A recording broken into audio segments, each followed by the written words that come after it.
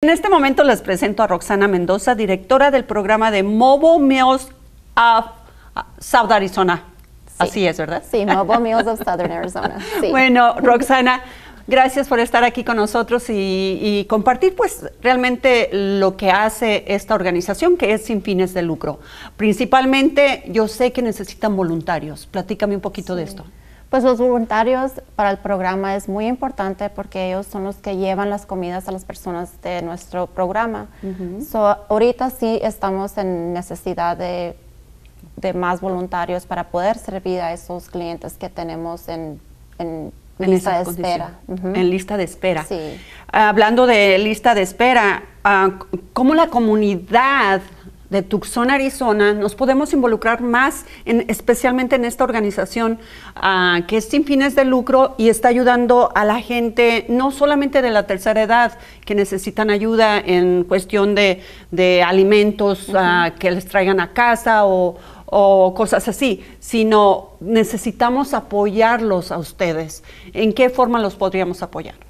Pues voluntarios pues ser voluntarios, ser uh -huh. voluntarios, um, donaciones, uh -huh. um, donaciones y pues nada más que les digan las gentes que necesita ayuda, pues que nos pueden llamar uh -huh. o pues los voluntarios porque son los que los, los ayudan a sacar las comidas para las personas. Y en, en cuestión de que dices donaciones, en ¿dinero o comidas? ¿Cómo es la donación? Es dinero. Dinero. Ok, ajá, ok. Dinero. ¿Y en qué eh, tienes una página? ¿Hay una página para entrar y, sí, y hacer las donaciones? Tenemos, um, sí, nuestra página es del www.mobilemealsoaz.org. Uh -huh. okay. Ahí tenemos una que es Donate Now y ahí uh -huh. es donde pueden dejar sus donaciones. Y para las personas que se encuentran, bueno, ahora que se vio lo del COVID, que quedaron muchas personas inválidas o uh -huh. incapacitadas de una forma u otra, lamentablemente, a estas personas, ¿cómo también cómo pueden aplicar para, para recibir esta ayuda? Um, nos pueden llamar a la oficina, uh -huh. que el número es el 520-622-1600, o también en el website de nosotros, pues pueden, le podemos, pueden um, aplicar subir su, su aplicación. Uh -huh.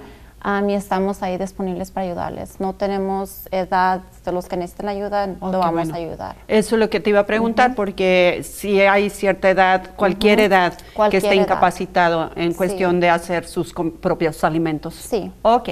Bueno, pues se nos ha terminado el tiempo. te dije que era rapidísimo, los tres minutos se nos van volando. Uh, gracias, Roxana, mucho. y me saludas mucho al señor Robert. Sí. Porque yo anduve también como voluntaria un día con, con el señor Robert y me encantó, me fascinó, me llenó de satisfacción ayudar a tanta gente que están en casa incapacitados. Sí. Muchas gracias, Leti. Ah, pues de nada.